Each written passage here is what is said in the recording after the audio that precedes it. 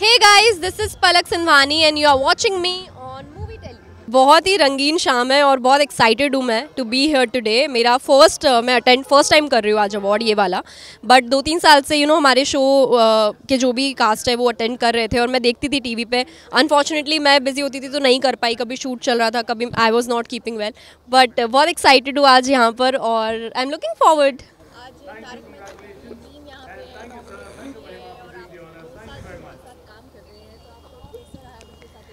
it's a beautiful feeling you know मतलब it's like my second family honestly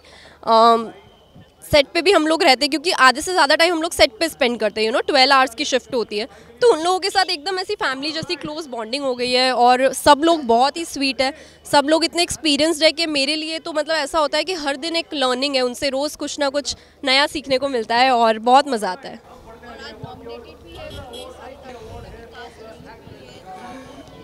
बहुत बहुत सारे एक्टर्स नॉमिनेटेड है शो भी नॉमिनेटेड है and I am just you know hoping that we win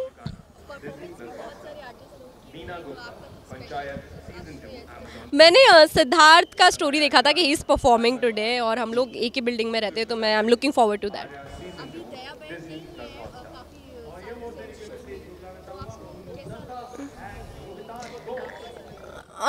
I feel uh, सारे characters बहुत important है और यू you नो know, हर हर कैरेक्टर ट्राई कर रहा है टू गिव द बेस्ट और भगवान की दया से लोगों के प्यार से शो बहुत अच्छा भी चल रहा है। सो so, येस yes, हम लोग चाहते हैं कि जो भी किरदार है वो सब जल्दी वापस आ जाए बट लेट्स सी वो कैसे होता है।